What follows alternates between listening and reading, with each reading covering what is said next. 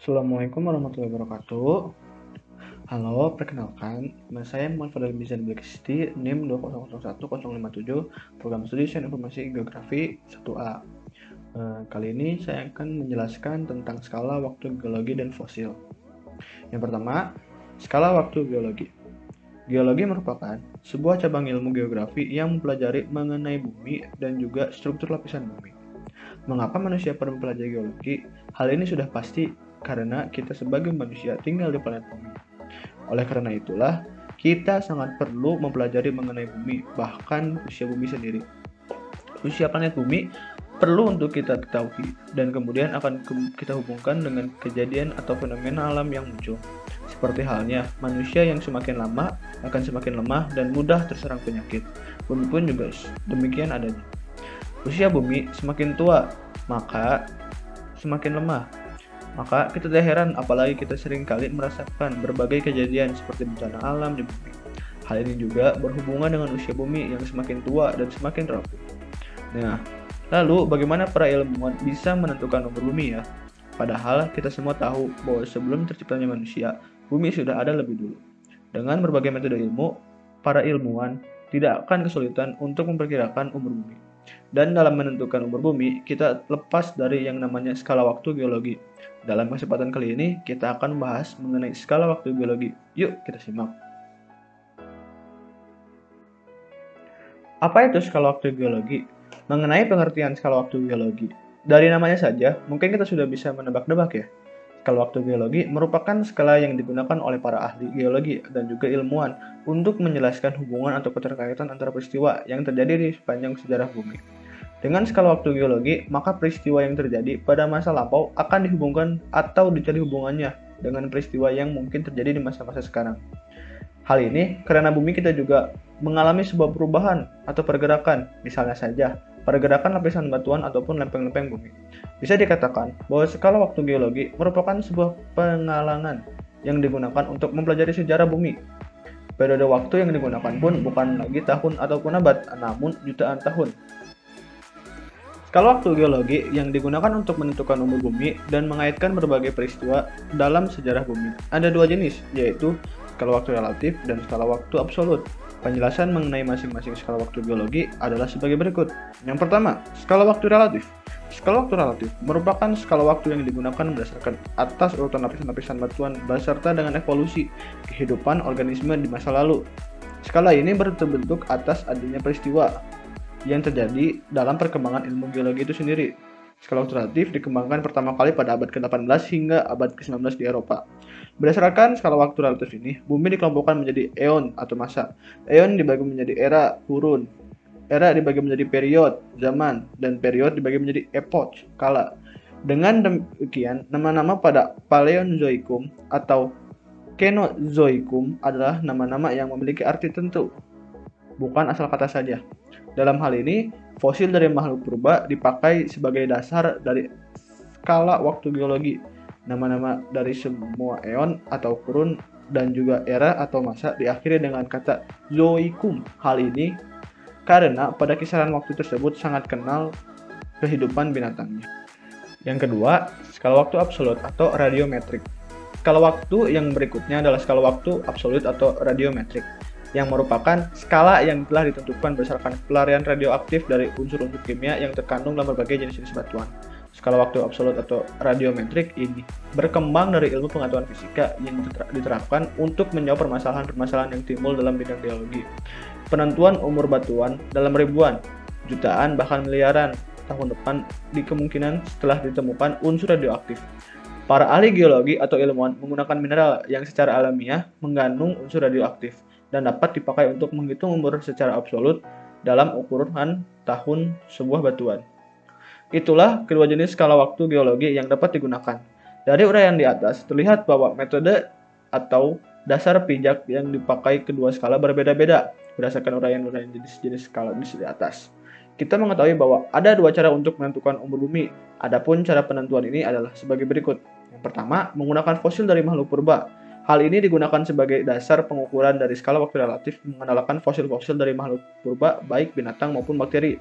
Menggunakan isotop radioaktif yang merupakan kandungan kimia yang terdapat dalam batuan. Penentuan berdasarkan isotop ini dinilai memiliki tingkat kesalahan yang relatif sangat kecil. Itulah dua cara yang digunakan dalam penentuan umur bumi. Kedua skala tersebut menggunakan metode yang berbeda. Di bawah ini disajikan tabel mengenai skala relatif dan skala radioaktif. Selanjutnya, kita masuk ke bagian fosil. Fosil dalam bahasa Latin adalah sofa, yang berarti menggali keluar dari sisa dalam tanah adalah sisa-sisa atau bekas-bekas makhluk hidup yang menjadi batu atau mineral. Untuk menjadi fosil, sisa-sisa hewan atau tanaman ini harus segera tertutup sedimen. Oleh para pakar, dibedakan beberapa macam fosil. Ada fosil batu biasa, fosil yang terbentuk dalam batu ambar, fosil ter seperti yang terbentuk di sumber terlaber di California. Hewan atau tumbuhan yang dikira sudah punah, tapi ternyata masih ada, disebut fosil hidup. Fosil yang paling umum adalah kerangka atau sisa seperti cangkang, gigi, dan tulang. Fosil jaringan lunak sangat jarang ditemukan. Ilmu yang mempelajari fosil adalah paleontologi, yang juga merupakan cabang ilmu yang dikeruh arkeologi. Kemudian, fosilisasi. Fosilisasi merupakan proses penimbunan sisa-sisa hewan atau tumbuhan yang terakumulasi dalam sedimen atau endapan-endapan baik yang mengalami pengawetan secara menyeluruh, sebagian ataupun jejaknya saja. Terdapat beberapa syarat terjadinya pemfosilan, yaitu antara lain. Pertama, organisme mempunyai bagian tubuh yang keras. Kedua, mengalami pengawetan. Ketiga, terbebas dari bakteri pemusuk. Keempat, terjadi secara alamiah. Kelima, mengandung kadar oksigen dalam jumlah yang sedikit. Keenam, umurnya lebih dari 10.000 tahun yang lalu. Fo kemudian fosil hidup. Istilah fosil hidup adalah istilah yang digunakan suatu spesies hidup yang menyerupai sebuah spesies yang hanya diketahui dari fosil. Beberapa fosil hidup antara lain ikan koyalanken dan pohon ginkgo. Fosil hidup juga dapat mengacu kepada sebuah spesies hidup yang tidak memiliki spesies dekat lainnya, atau sebuah kelompok kecil spesies dekat yang tidak memiliki spesies dekat lainnya. Contoh dari kriteria terakhir ini adalah Nautilus. Kemudian, tempat penemuan fosil. Kebanyakan fosil ditemukan dalam batuan endapan atau sedimen yang permukaannya terbuka. Batuan karang yang mengandung banyak fosil disebut fossileverus. Tipe-tipe fosil yang terkandung di dalam batuan tergantung dari tipe lingkungan. Tempat sedimen secara ilmiah terendapkan. Sedimen laut dari garis pantai dan laut dangkal. Biasanya mengandung paling banyak fosil. Kemudian, proses terbentuknya fosil. Fosil terbentuk dari proses penghancuran peninggalan organisme yang pernah hidup. Hal ini sering terjadi ketika tumbuhan atau hewan terkubur dalam kondisi lingkungan yang bebas oksigen. Fosil yang ada jarang terawetkan dalam terbentuk aslinya.